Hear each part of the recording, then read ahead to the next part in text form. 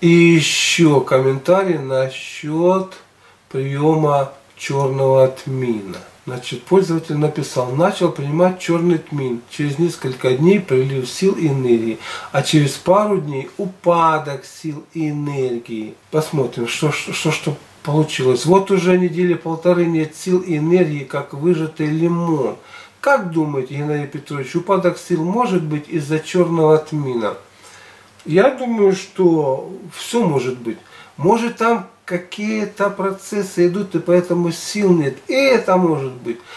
И вот вначале пил по чайной ложке, а сейчас по половине. Начните, если вы принимаете тмин, начните буквально таки лучше всего с одной трети. И смотрите, как реагирует ваш желудочно-кишечный тракт.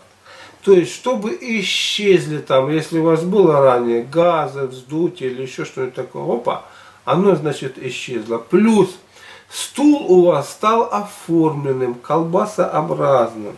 Это говорит о том, что нормально. Если же вы, продолжая принимать, чувствуете, что, допустим, стул у вас не становится нормальным, он по-прежнему какой-то жидкий, по-прежнему у вас газообразование в животе, добавьте дозу этого тмина, добавьте.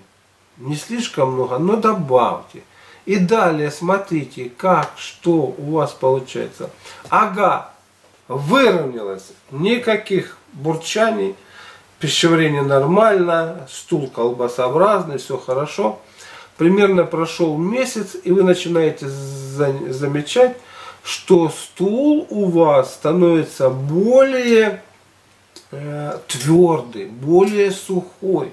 Это говорит о том, что как раз тмин подсушивает содержимое желудочно-кишечного тракта, ведет к обезвоживанию. Значит, что? Надо его меньше. Уменьшаете. И таким образом регулируйте, чтобы опять он у вас стал колбасообразным. Там уменьшаете дозу. Что-то получилось такое, что расстроился, вы больше.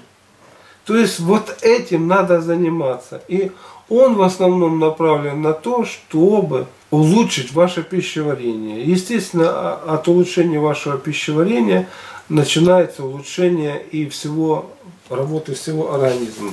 Здесь же я не знаю, что там произошло, потому что вот пишут со стороны энергии. Ну, энергия это хороший, конечно, это такой показатель, но для того, чтобы более точно ориентироваться, вы должны понимать, что есть еще какие-то мелкие показатели, такие как бурчание в животе, прекрасный аппетит и плюс на свой стул смотрите. Многие не смотрят. Пошли в унитаз, что-то там выделили и не интересуются, и все следить надо. Вот машину смотрят, а как там работают цилиндры, все ли топливо сгорает или нет, как-то отрегулировать все это дело. А мы же не, ничего тут мы не регулируем, она там само регулируется, якобы. На самом деле это не так. Вот, чем это связано, вот, вот еще вот эти вот процессы надо посмотреть. А потом уже можно э, судить.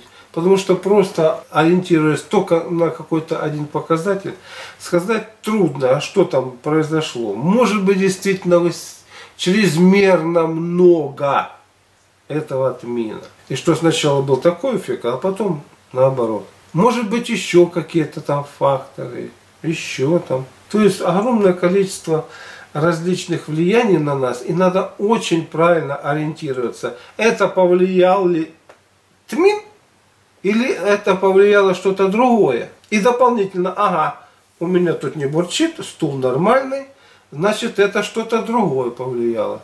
А если у меня, значит, это стул стал жесткий, натуживание, значит тут уже тмин начинает работать не в ту сторону. То есть я опять-таки вам хочу сказать, вот Организм, он существует вот в таких вот условиях, нормальных, здоровые, оптимальные условия. Как правило, у человека, который чем-либо начинает заниматься, дабы поправить свое здоровье, у него имеется сдвиг вот такой. И если он что-то принимает более-менее правильно, то он все это дело сдвигает, сдвигает, и только раз стал э, в рамке нормально. Все хорошо, думает, о, грубо говоря, сыроедение сейчас я буду принимать. А потом видит, что э, что-то получилось не то. То есть тех э, отклонений в здоровье, которые, которых ранее не было, они появились.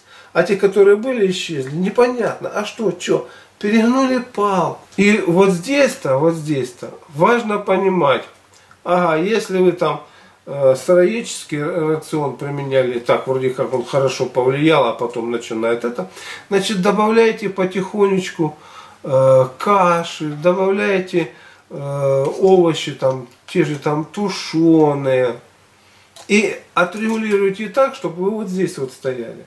Это же касается и движения, это же касается и распорядка дня, чтобы вы вписывались вот в эти все биоритмы. Ну и, естественно, работа со своим собственным сознанием. Это трудно, легче всего кого-то там поучить, заметить за чужим человеком его ошибки и при этом свои собственные явные не видеть. Вот Артем Федоров опять из Казахстана, он на это ответил. Видимо, паразиты начали дохнуть из датмина и их токсины, продукты распада в организме, в организме. Ведь вот и вызывает такое отравленное состояние. Помню, Петрович как-то рассказывал про подобный эффект, когда они дохнут на голоде, дохнут на голоде. Может быть и, и такое, может быть, поэтому – смотрите опять-таки на свой стул. А не выходят ли эти паразиты, как вот, допустим, у Серджа вы видели, как, допустим, в других там фотографиях, когда там вываливались вот эти сгустки полу разлож... разложившиеся вот этих вот э, аскарит, этих каких-то там клубков вот, непонятных. То есть на это тоже надо обращать внимание. Потому что, да, человек, вернее, организм накопил сил, он справился с тем заболеванием, которое там есть, допустим, даже если паразитарно что-то там убил, а надо же это все вывести еще. И вот этот процесс выведения, он как раз, это все должно там отгнить, оторваться и потом выброситься. На это все уходит энергия, а после чувствует нормально. То есть ориентируйтесь в своем собственном здоровье. Я, конечно, вам буду помогать. Ну, вот такие вот дела. Я благодарю вас за то, что откликаетесь, проявляете свою благотворительность на поддержание канала.